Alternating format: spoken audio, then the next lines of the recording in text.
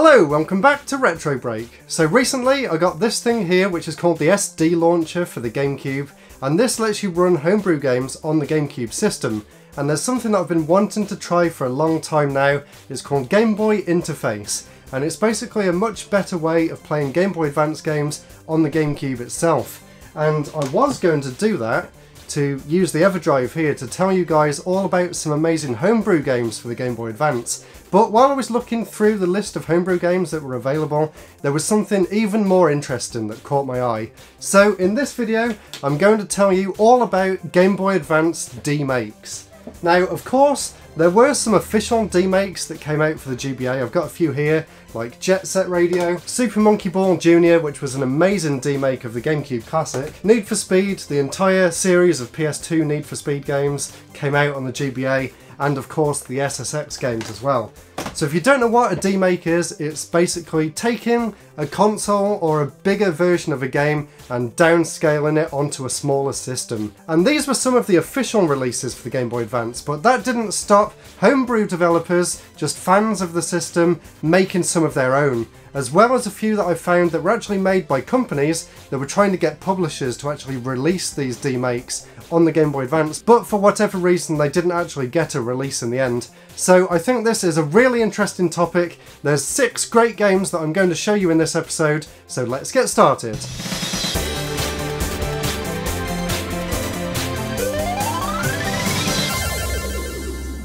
So the first one we're looking at here is Turok. Of course, an absolute classic for the N64. This developer did a very admirable job of trying to squeeze it all down onto the Game Boy Advance. So let's take a look.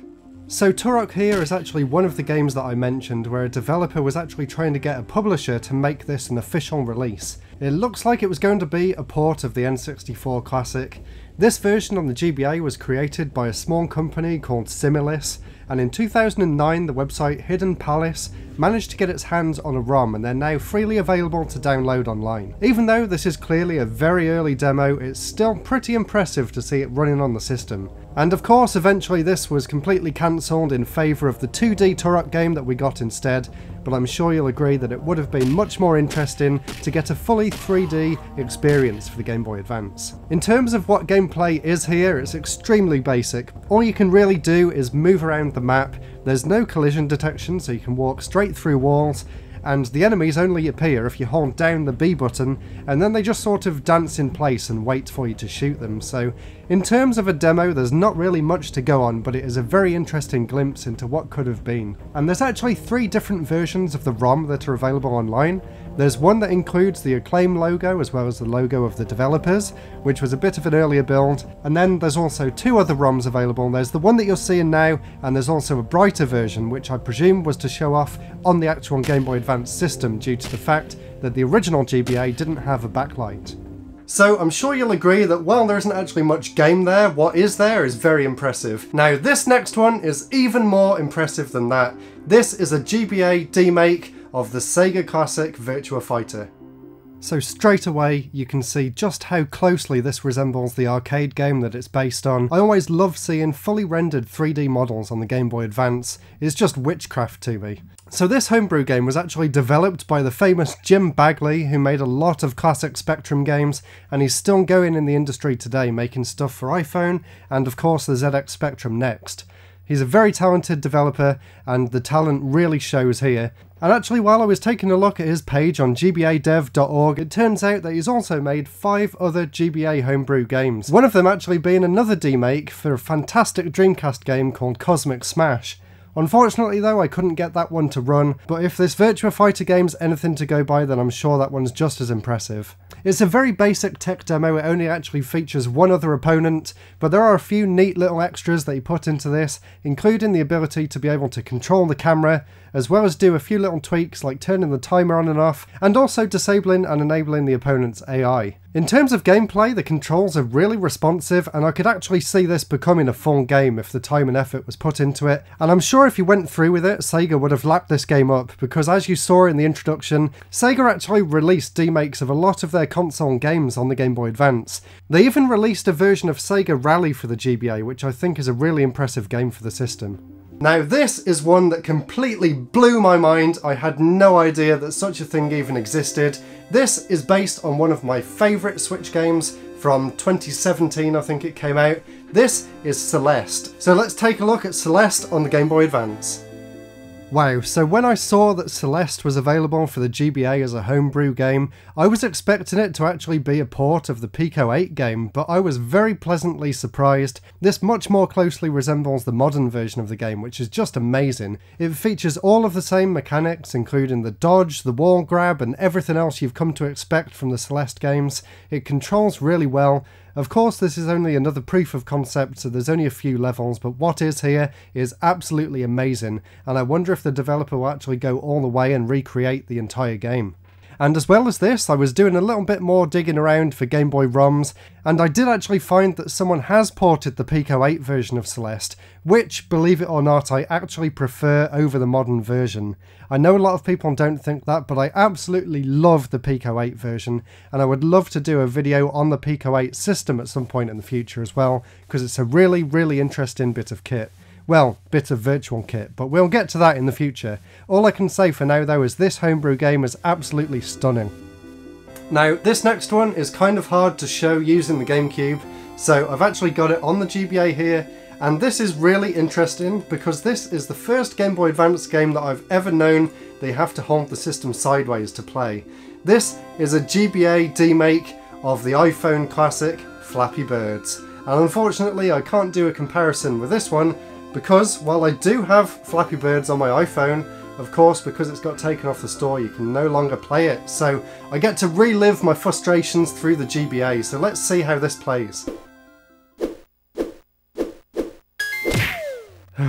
yes, it's Flappy Birds. For better or worse, this is actually the most faithful conversion that I've seen on the GBA so far. And apparently this one actually got a physical release when it was first made back in 2014. This GBA port was made by a guy who goes by the name of Jay Van Houten, and he did an amazing job. Whether you actually like the game or not, there's no denying that this is a really good version of it, and like I said, it's really interesting to actually see a GBA game that you play by holding the system sideways. That's something I never even thought I'd see the system do, so it's really interesting from that point of view. But apart from that, there really isn't much to say. It's literally just Flappy Birds, so I'm sure you know what to expect. A lot of fun, but a lot of frustration too. Now the next game here, and along with Celeste, this is another one of my all-time favourite indie games. I must have finished this game at least three or four times now on different systems over the years. This is Super Meat Boy, and this is another one that's really, really impressive, so let's take a look.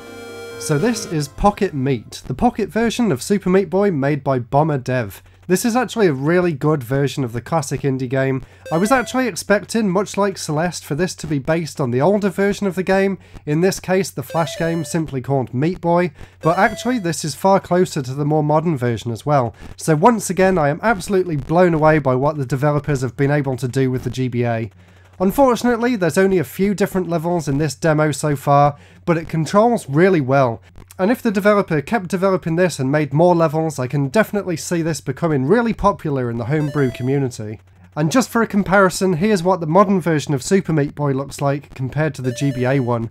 As you can see, it's not actually a million miles away. And of course, don't forget to check the description if you want to try any of these games for yourself, either through an emulator or on the GBA console using an EverDrive like I did. And definitely saving the best till last, this one was actually made by a company, and they were actually looking around to try and find a publisher to get this one officially released, but unfortunately that never happened, but they did release this playable demo online, and it is absolutely stunning. This, believe it or not, is Resident Evil 2 for the Game Boy Advance. So this is actually a really interesting tech demo made by the Italian game company Raylight Studios using their Blue Roses 3D engine for the Game Boy Advance. And I'm just going to stop talking now so you can hear this. The game actually has a fully voiced intro sequence too. That the terrible disaster had been caused by the T virus. a mutagenic toxin created by the international enterprise Umbrella Incorporated. So by the time that this developer had built this engine and this demo, Capcom had kind of lost interest in the viability of Game Boy Advance games, so unfortunately their pitch was rejected, but what they actually made is stunning. As you can see, it's really close to looking almost identical to the PS1 game. They managed to get the pre-rendered backgrounds in there, as well as the 3D models for the characters and the enemies. It even includes the same menu system as the PS1 game. In this proof of concept demo, there's only a few small areas to explore, but it is a really interesting look into what could have been. And doing a bit of research on this video, I actually found out that the Blue Roses engine was used to make a lot more demos as well, and they all look really, really impressive. Unfortunately, I don't think any games actually came from it, which is a huge shame because seeing games like this running on the GBA system is super impressive and I would have loved to play some more 3D games on the system and I really think this company had a lot going for it so it's such a shame they never got around to doing much. Unfortunately, none of these other demos seem to have ROMs, so the only one you can actually play using this engine is this Resident Evil 2 demo here, and like I said, if you want to check it out for yourself, I'll put a link in the description to the ROM. So I'm sure you'll agree they all looked absolutely amazing and the developers that made these are all incredibly, incredibly talented. I will put links in the description so you can go and check out all of the games that I've shown in this episode. I really, really hope you enjoyed it and maybe in the future I will be taking a look at some Game Boy Homebrew games. If you did watch my last video, you'll know that I did say I was going to do a series of videos about my game development journey. Well, I've kind of decided against that because I haven't really got that much interesting to show. So what I'm going to do instead is play some of the more interesting projects that I made on my second channel, which is I'll link down below. That one's called Retro Break Gameplay. So go and check that out. There's a link down below and I will be doing Let's Plays of a few of the games that I've made over the years. Please consider subscribing if you enjoyed it. Also, please consider checking out my Patreon if you want a behind the scenes look at all of the videos that I've done and all of the ones that are coming up throughout the rest of this year and into next year as well now. So I really hope you enjoyed the episode. That's it for this week and I'll see you all next week for the next one. Goodbye!